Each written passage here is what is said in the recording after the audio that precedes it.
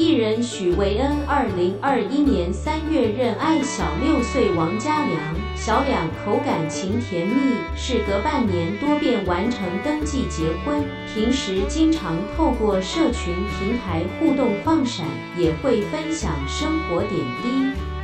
而他日前透过电商平台虾皮买东西，未料事后想退货，遭卖家冷处理，对方后来更清空卖场，让他无助，直呼像被诈骗。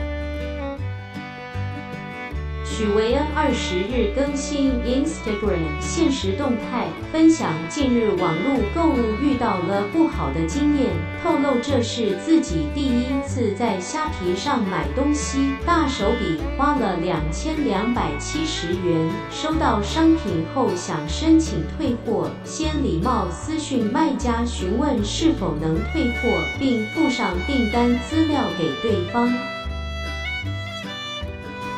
未料，从前一晚许维恩讯息发出后，至今已超过二十四小时，卖家期间有上线却始终没回应，遭对方冷处理。